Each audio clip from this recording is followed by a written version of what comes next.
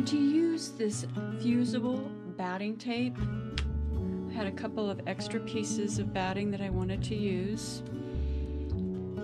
Just butt it up to, to each other as much as you can. And then there is, the tape has a rough side and a smooth side. Put the rough side down right over that seam.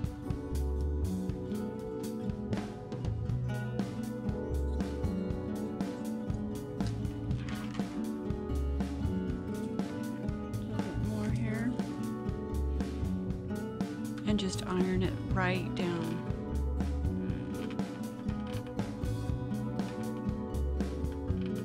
Kind of squeeze your batting together.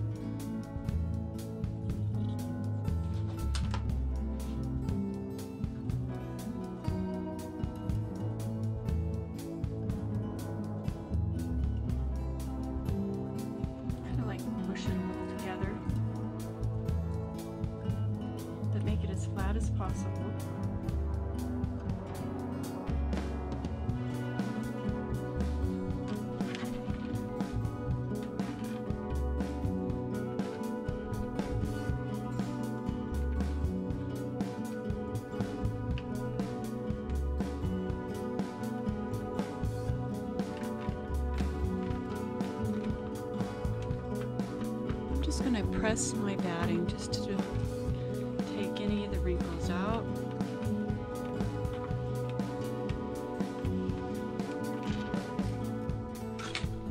And now I have a continuous piece that I can work I've with. been making things since I was three. Creating is my happy place and my passion. My hope is that you feel inspired as a result of watching my videos and create something incredible. I would love to hear about it by leaving me a comment below and give a thumbs up for other interested viewers. If this is your first time here, I would love for you to subscribe because this channel is all about creativity and inspiration. I hope you feel inspired to create something amazing.